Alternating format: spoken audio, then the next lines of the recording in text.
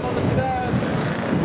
In a 141 car, so Gary Lee looks to try and turn around, mind you, with the uh, state of his car.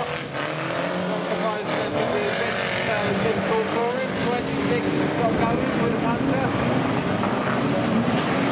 They come round the turn, and 469 has met Gary Lee down here. Oh, uh, 19 over argues back suspension as Martin Baxter has run up the wall by 785.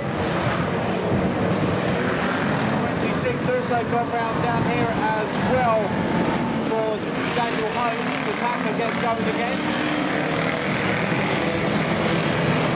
Martin Baxter also looking to try and grab his way up and gets smashed from behind from 785 Dominic Ambrose. One for one, G-Man's got going again, we pick up an early lead. It's with six, two, three, tricky.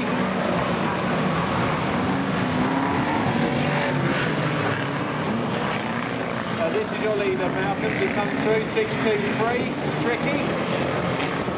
Beyond that is uh, 325, 317, for 599 and 328. So as they go through, as Tricky comes through, Hunt is our leader going down into the uh, roadway bend.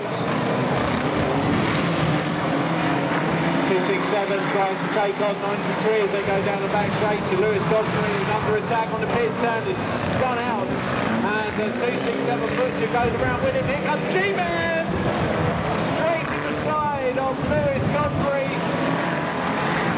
As Godfrey looks to drive away from that and does so G-Man is now up against the Armco here on the pit turn as well Tricky races on 325 still seconds. He's under attack from 317, 328. Matt Butcher beyond that two next time. Malcolm, two to go next time. As uh, Butcher tries to take on 817. 317 is still there in a second. Down late is third. 3294. Ah, Matt Butcher has turned it around.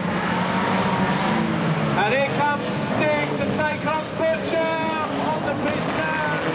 And then Matt Butcher was waiting for that. And goes in as well. So both the Butchers, the six Sting is spiked up against the wall as well. As Matt Butcher now takes on his turn as he goes the wrong way round. Sting back in action as well. And the jumper flag goes down. And it's tricky Ricky Hunt taking the win in 6-2-3.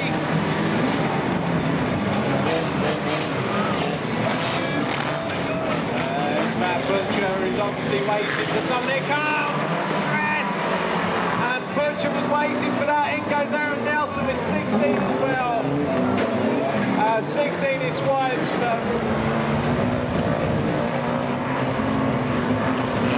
Red flag, please, Malcolm. Red flag. To end our third crazy race of the afternoon. Red flags are out. With Matt Butcher and his handshakes down there with